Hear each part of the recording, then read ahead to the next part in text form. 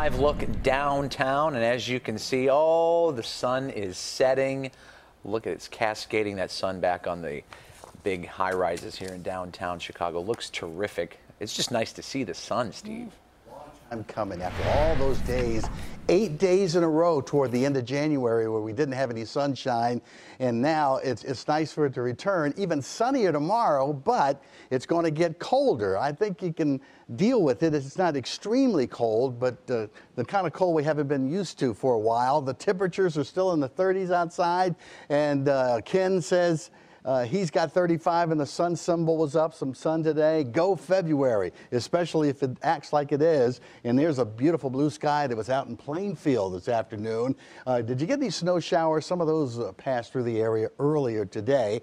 Uh, up in Evanston, Hank has got uh, cloud symbol up, but it's 35 degrees, a nice crisp afternoon. Had a brief snow shower in Evanston this afternoon. I was in Evanston today. I want to show you some future meteorologists surrounding me. This was at the Haven Middle School, and uh, we talked about all sorts of things weather-wise and career-wise. They had a nice career day today, and boy, is the weather changing. Up in Evanston, you'll get down to about 15 degrees.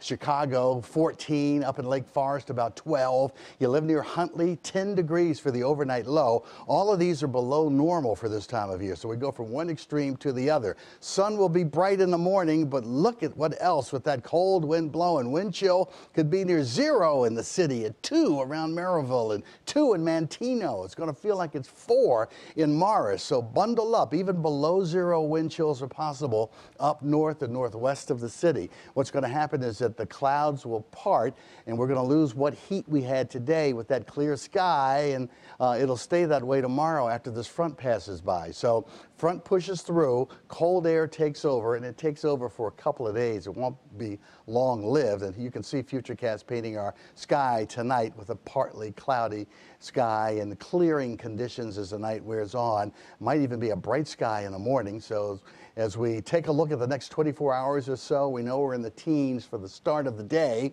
Uh, the wind chills could be in the single digits during the first half of Thursday, even though we'll have that bright sky. Temperatures through the day 22 degrees around the time you have lunch, 25 at 2 o'clock in the afternoon. All these numbers below normal for this time of year.